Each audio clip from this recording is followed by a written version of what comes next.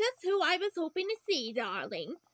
Tell me you notice all those ugly night thorns sprouting around the valley, and how some of the villagers are starting to lose their memories. Merlin hasn't the faintest clue what might be causing it. But don't worry, I won't tell him it's all your fault. My fault? Uh, Well, of course it is. This village clearly reflects you. Your dreams, your desires, your fears. But we've all noticed that you haven't been yourself lately. What? No, I'm I'm fine. You mustn't lie to Mother Gothel. You know how I hate that. But don't worry, there's something wrong with you. You're simply growing up. You're finally seeing the world for the cruel and dangerous place it is. Hmm, maybe you're right. I always am. Now trust me, after all, we must look out for ourselves. In fact, follow me. You have much to learn. are you still here? I'm just teasing. What a pleasure. Here we are. Now pay attention, dear. These pillars have been here for as long as anyone in the village can remember. if you ask Merlin, he'd tell you they symbolize the virtues that hold this village together and protect it, blah, blah, blah. Hmm. Let's see, blah, blah, blah, blah. Hmm. Oh, how that man loves to hear himself talk. Don't insult Merlin. Hmm. What a pity. You still insist on defending Merlin even though he's done nothing but lie to you. Huh? What do you mean? Merlin told you that these pillars protect the village, but they don't. They only prevent brilliant people like us from reaching our full potential. Everything he told you about light and dark magic, friendship, trust, and so on, nothing more than lies to keep you under his control. I don't believe you. Well, there's one way to find out for sure. Rip the orb out of the pillar. Then you'll see what I'm saying is true. ta-ta.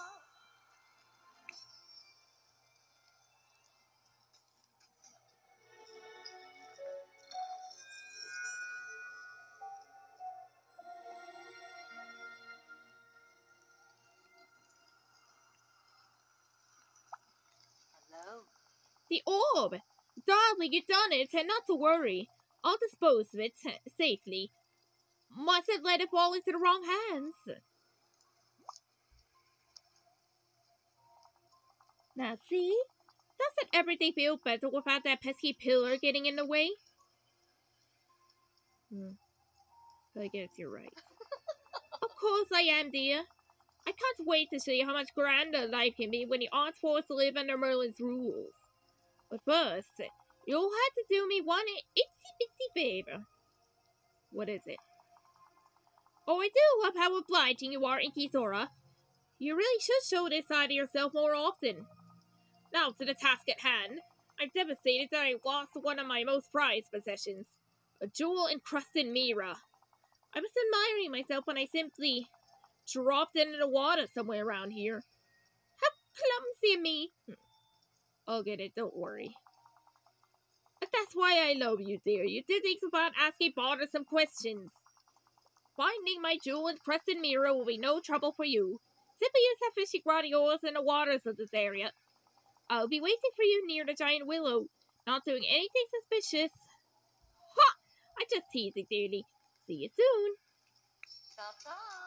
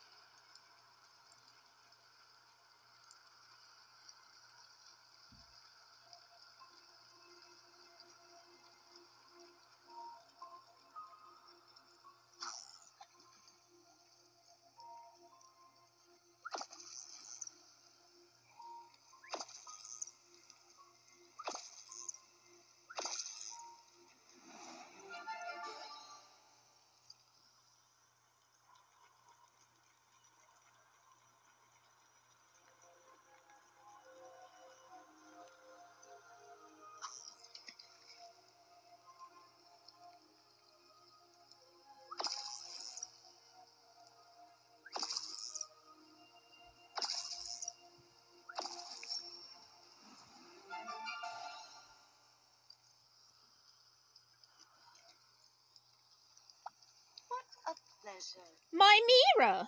You found it! And so quickly, I knew I could count on you. What's the big idea? The big idea? No, dear, it's a brilliant idea. Oh, don't look so upset. You must stop taking everything so seriously. Now, shall I tell you my plan? You see, Inky Sora, I've always wondered if that dreamlight magic of yours might work like Rapunzel's magic hair. So I borrowed a little book from Merlin, trade, traded for a few potions and ingredients from Ursula. and now that the magic of the orb is gone, there's nothing to stop me from throwing it all together to keep you safe in a giant willow forever. Oh, It's for your own good, dear. The world outside is far too dangerous. Trust me. It's better this way. You'll see. In time that I can be a very loving mother.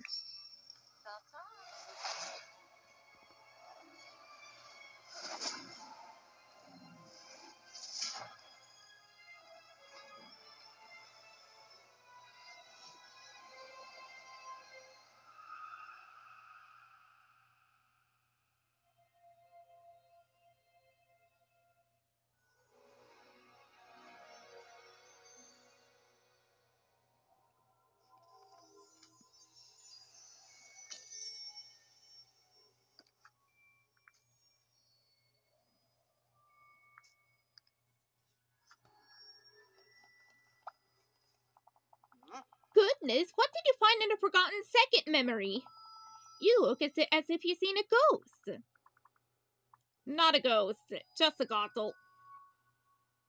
She betrayed the forgotten. The forgotten trusted her, and she. She tried to do something horrible. Oh, I'm so sorry, dear. When we feel alone, that's often when we're most vulnerable. Now, I don't think if this brings us. I don't know if this brings us any closer to saving the valley. Perhaps now you understand the Forgotten a bit better. The Forgotten's pain is becoming so real to me. How could the Forgotten never trust anyone again after what Mother Gothel did? Once all this is over, I'm going to need a little talk with her. Trust is fragile, dear. We must beware. Once broken, it's difficult to repair. Now then, I'm afraid we still don't have all the answers we need. But perhaps we'll find them through this final gate. Follow me.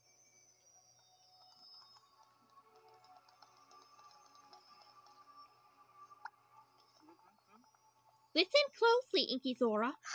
Beyond the last gateway, you'll find a final lost memory of the Forgotten. Whatever happened here, it changed them into what they are now. I don't think they meant to do any of this. The Night Thorns and the Forgetting always seem to be outside of the Forgotten's control. Oh, That's maybe so. When one is lonely and uncertain, it is easy to lose your way. Now, collect yourself there. You mustn't wait. Now, go boldly forward and step through the gate. mhm. And if it gets to be a bit too much, uh, just know that I will be right here waiting. You've been so